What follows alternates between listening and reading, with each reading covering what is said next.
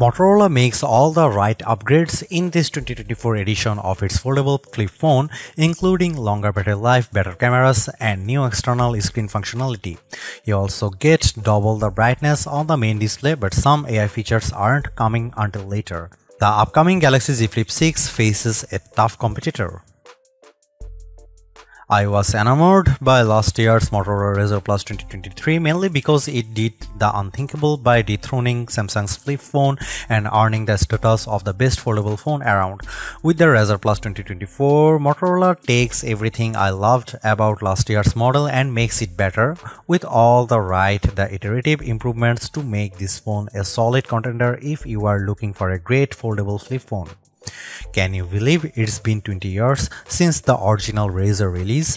While the Razr Plus 2024 pays homage to the iconic flip phone, the new release enjoys a prime opportunity to get a head start to win over consumers before the competition comes around.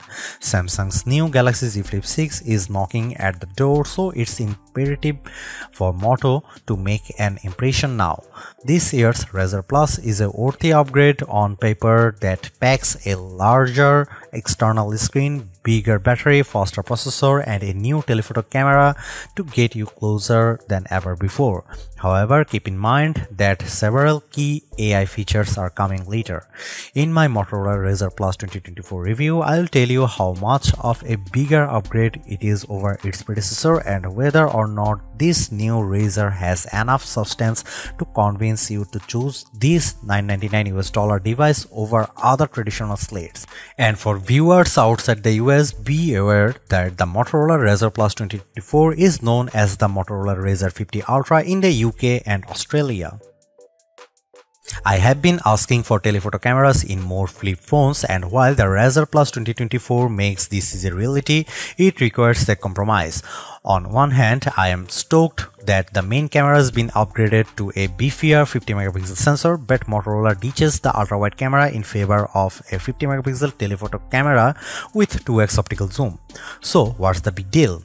Well, I really found the ultra wide camera of last year's Razr Plus handy for vlogging and self-recording because of its wider field of view and its omission to noticeable because the main camera's field of view is narrow.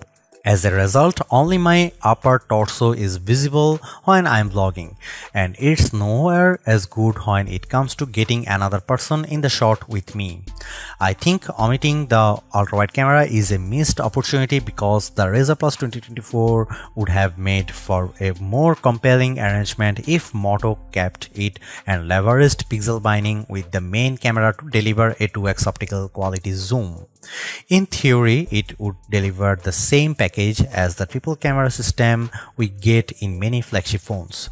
Despite that, the camera app gets its share of changes as well including a new camcorder that can shoot vertical or horizontal videos while in this mode. Another change pertains to photo booth which now works on both the internal and external cameras. Here are some camera samples of Motorola Razr Plus 2024.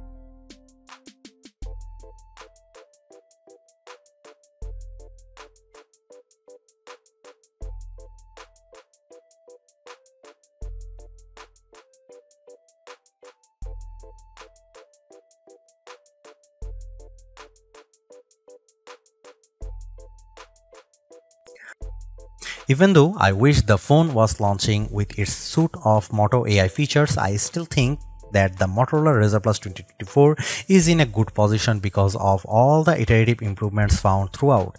It maintains the same stylish looks that has made the Razr one of the most attractive foldable phones around, while adding a bigger outer screen, much longer battery life, faster charging and camera performance improvements.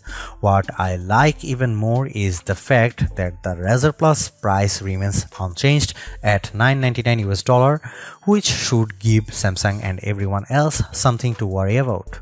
The only disappointment I have is Motorola choosing to ditch the ultra-wide camera in favor of a dedicated telephoto lens, more so when the main camera's full resolution snapshots rival the quality of the optical zoom lens. Apart from that, the Razr Plus 2024 is a delightful flip foldable that's worth a look without much compromise in its package.